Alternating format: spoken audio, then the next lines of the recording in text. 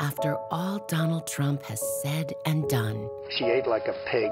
You can do anything. I moved on her like a bitch. Trump's just so disgusting and degrading. He's bragged about assaulting women, and he's the Republican nominee for president. And Congressman John Katko said Trump has good principles. Come on. Look, we just can't vote for Katko or Trump. House Majority PAC is responsible for the content of this advertising.